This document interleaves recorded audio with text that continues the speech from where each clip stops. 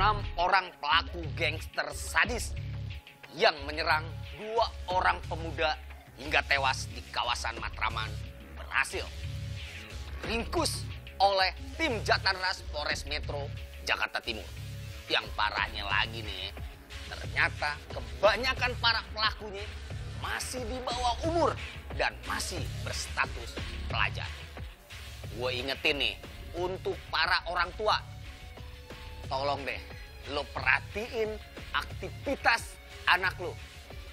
Jangan sampai lo terledor, apalagi sampai anak lo terlibat aksi kriminal.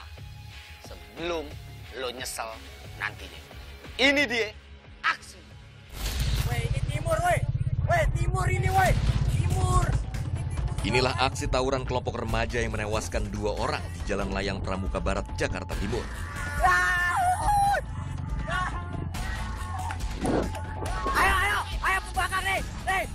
Miris, mereka bukannya memanfaatkan media sosial untuk belajar daring secara berkelompok, tapi malah memanfaatkan media sosial untuk janjian melakukan aksi tawuran antar kelompok gangster.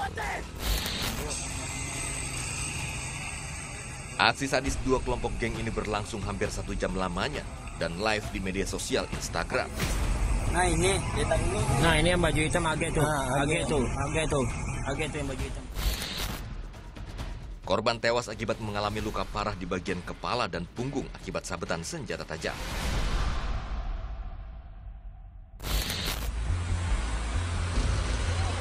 Mendapatkan laporan tersebut di bawah pimpinan Kasat Reskrim, tim gabungan dari Jatanras dan Resmo Polres Metro Jakarta Timur langsung bergerak cepat melakukan pengejaran terhadap pelaku.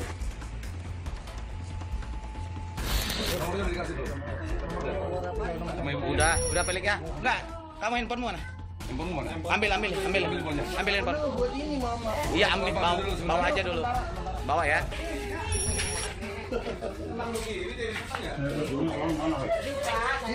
Iya, orang juga udah mati di sana.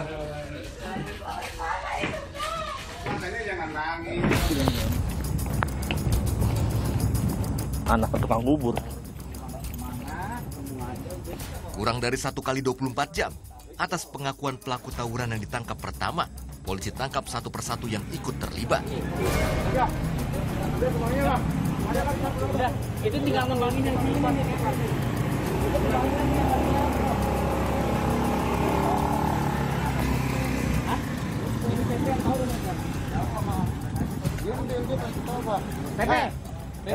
Siapa nama? Tahu, situ lu tahu rumahnya Gembel kan?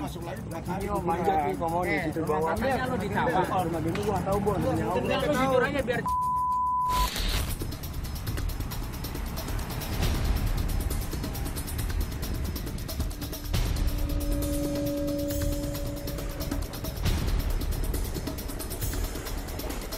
Dari penangkapan ini, polisi berhasil mengamankan enam orang remaja, yang lima di antaranya berstatus pelajar dan masih di bawah umur.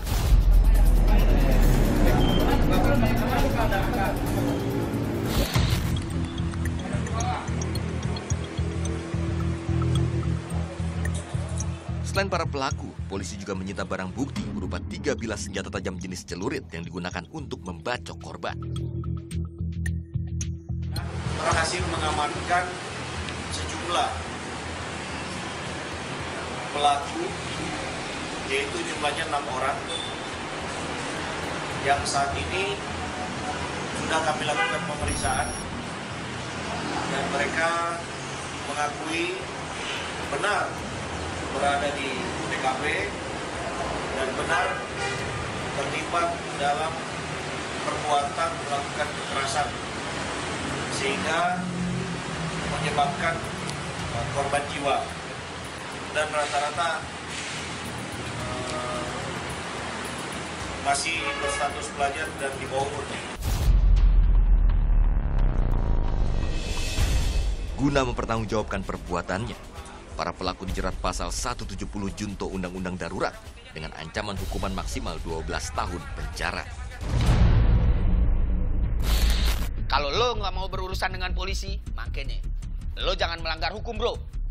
Tunggu aksi-aksi penegakan hukum lainnya hanya di Jatandra. Sikat penjahat, lindungi masyarakat, Bravo Polri, NKRI 100% harga mati.